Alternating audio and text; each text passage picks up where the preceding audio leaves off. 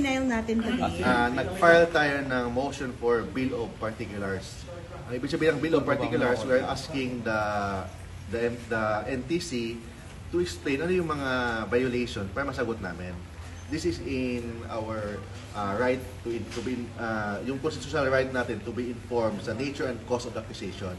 Kasi paano namin masagot yung mga complaint kung hindi namin alam kung ano yung alleged violations. Kasi very general kasi ang sinasabi ng show cause order. So we are asking ano talaga yung specific violations na nakasaad na na-violate namin alleged, allegedly na-violate namin sa Certificate of Public Convenience or yung provisional authority na in-issue ng NTC. Sige. Nag-file kami ng motion for bill of particulars. No? Ah, instead of filing an answer doon sa deadline namin na January 15, no, based sa show cause order. Remember, ang show cause order, merong 30 days suspension.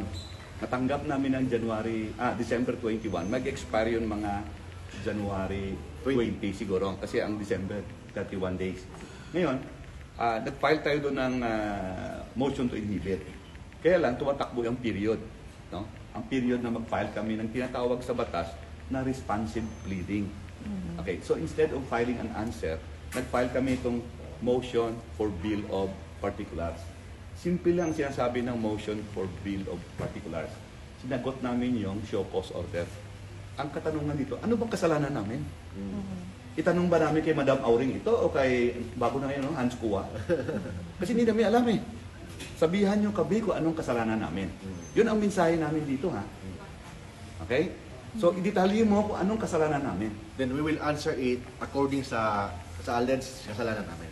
Kasi pag, pag binabasa mo, hindi namin alam kung anong kasalanan namin eh. Bakit ba pinapatawag kami dito? Now, yung issue na ito, maliban pa ito sa motion to inhibit. Okay? So, okay tayo. Bakit